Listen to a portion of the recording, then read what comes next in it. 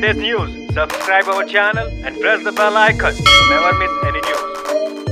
നമസ്കാരം. ഇത് one India Malayalam. റംസാനിലെ ഗരംകാവോ ആഘോഷത്തിനുള്ള തയ്യാറെടുപ്പിലാണ് ഏവരും. ഇന്ന് രാത്രിയാണ് ഗരംകാവോ രാത്രി. കുട്ടികളുടെ ആഘോഷമായ ഗരംകാവോ റംസാന്റെ പതിനാലാം രാത്രിയാണ് ആചരിക്കുന്നത്. പാട്ടും നൃത്തവും സമ്മാനങ്ങളുമായി വർണാഭമായ ആഘോഷമാണിത്. നോമ്പ് തുറന്നതിന് ശേഷം കുട്ടികൾക്കായി പ്രത്യേക ആഘോഷങ്ങളും വിരുന്നും ഒരുക്കുന്നതാണ് ഗരംകാവോ. റംസാനിലെ പതിനാലാം രാത്രിയിലെ ഗരംകാവോ ആഘോഷം പരമ്പരാഗതമായി തുടർന്നു പോകുന്ന ഒന്നാണ്. പണ്ട് പൊതുവെ ഗൾഫ് നാടുകളിലാണ് ഗരങ്കാവോ ആഘോഷിച്ചിരുന്നത്. എന്നാൽ ഇപ്പോൾ കേരളത്തിലും ഇത് ആഘോഷിക്കുന്നു. ഗരങ്കാവോ രാത്രിയിൽ കുട്ടികൾ പരമ്പരാഗത വേഷമണഞ്ഞ് കയ്യിൽ ചെറിയ കൂടകളുമായി സംഘം ചേർന്ന് സമീപത്തെ വീടുകളിലെത്തി മനോഹരമായ പാട്ടുകളും മറ്റും ആലപിക്കും. വാതിൽ തുറക്കുന്ന വീട്ടുകാർ കുട്ടികളെ സ്വീകരിച്ച് അവർക്ക് മിഠായികളും മധുര പലഹാരങ്ങളും സമ്മാനങ്ങളും നൽകും. അടുത്ത സുഹൃത്തുക്കളുടെയും ബന്ധുക്കളുടെയും എല്ലാം വീടുകളിലാണ് സമ്മാനം സ്വീകരിക്കാനായി കുട്ടികൾ സംഘമായി ചെല്ലുന്നത്. സ്നേഹത്തിന്റെയും പരിചരണത്തിന്റെയും പങ്കുവയ്ക്കലിന്റെയും സാമൂഹിക ബന്ധത്തിന്റെയും പ്രാധാന്യം പ്രതിഫലിക്കുന്ന ആഘോഷമാണിത്. ഗാര എന്ന പദത്തിൽ നിന്നാണ് ഗരംഗാവോ എന്ന വാക്കുണ്ടായത്. ഒരുമിച്ച് മുട്ടുമ്പോഴുള്ള ശബ്ദമെന്നാണ് ഗാര എന്ന വാക്കിന്റെ അർത്ഥം. ദോഹയിലെ കത്താരയിൽ കുട്ടികൾക്കും കുടുംബങ്ങൾക്കുമായി നിരവധി ആഘോഷങ്ങളാണ് ഗരംഗാവോ രാത്രിയിൽ നടത്തുന്നത്. പരമ്പരാഗത ഗരംഗാവോ ഗാനങ്ങൾ കേൾക്കാനും സന്ദർശകർക്ക് അവസരം ലഭിക്കും. അറബ് ഇസ്ലാമിക് ദേശീയത നിലനിർത്താനും പഴയ ആചാരം പുനരുജ്ജീവിപ്പിക്കാനുമുള്ള പരിപാടികളാണ് കത്താറയിൽ നടക്കുന്നത്. കൂടാതെ ആരോഗ്യ പ്രശ്നങ്ങളെക്കുറിച്ചുള്ള ബോധവൽക്കരണവും നടത്തുന്നുണ്ട്. ഇന്ന് രാത്രിയിലുള്ള തറാവിയ പ്രാർത്ഥനകൾക്ക് ശേഷമാണ് ഗരങ്കാവോ നടക്കുന്നത്. കൂടുതൽ റംസാൻ വിശേഷങ്ങൾക്കായി സബ്സ്ക്രൈബ് ചെയ്യുക ലൈക്ക് ചെയ്യുക. One India Malayalam.